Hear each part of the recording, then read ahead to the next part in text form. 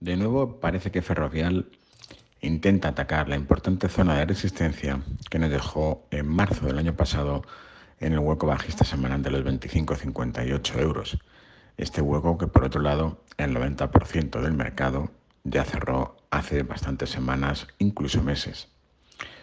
Si cierra por encima en velas semanales, es decir, a precio de cierre de un viernes, tendremos ahí una importante señal de fortaleza en el título y muy probablemente se trate de un ataque a la importante zona de resistencia que tienen los máximos históricos de febrero de 2020 en el entorno de los 29,50 euros.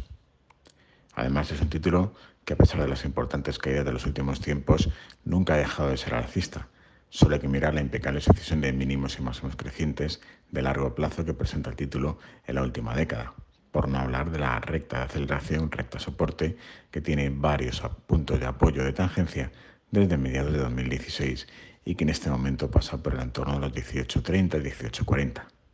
En cualquier caso, vamos poco a poco, paso a paso, y ahora a ver si es capaz de cerrar de una vez por todas el hueco bajista semanal de los 25.60 en números redondos.